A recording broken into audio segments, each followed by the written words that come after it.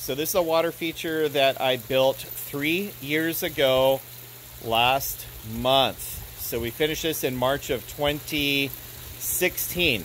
And so on this side over here, we put in a uh, wetland filter over here. We added on a spillway bowl over here. Big boulders and all this going on. And check out this herd of fish. Isn't that nice? And then check this out here. That's the deck I was just standing on. Oh, and look, there's the glass tunnel and it goes all the way over the other side of the front porch where you can watch the fish swim through over here. And it continues along over to a waterfall over here by the house. And then this waterfall has a double spillway.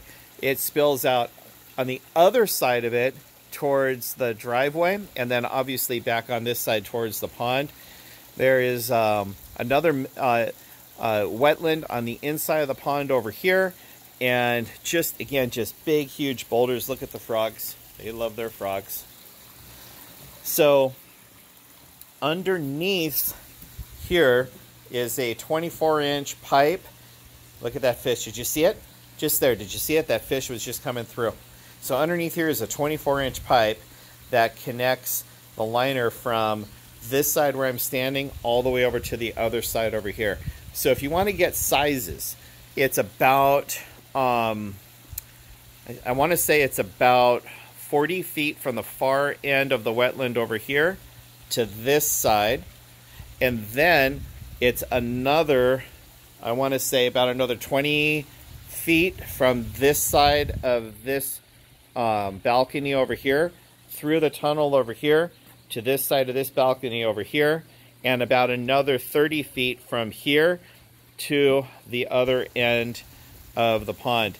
The net is on top here because they've had just a horrible time with um, with storks and you know egrets and so on and so forth. But the fish have been breeding like mad. Look at all these guys, and they're just like, "Come on, feed me. What do you got?"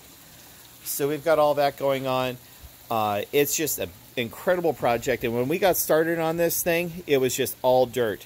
So I'm going to go and I'm going to find the original build videos and I'm going to kind of post a couple of those inside here, see what I can find and pull out. But this is one of my favorite jobs. And I just had such a great time putting it together. So I'm going to come around over here so that you can see the tunnel. Right over here by the front door. Coming along. There's the spillway. and over here to the wetland.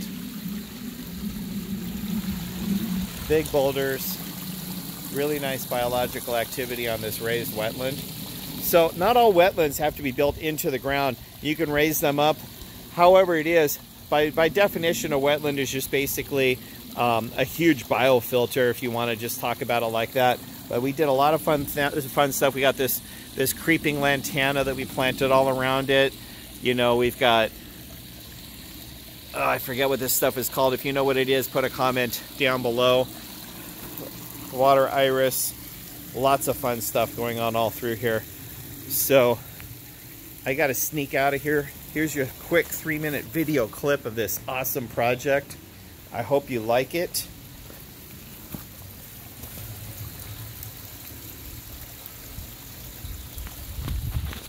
And I'm out of here.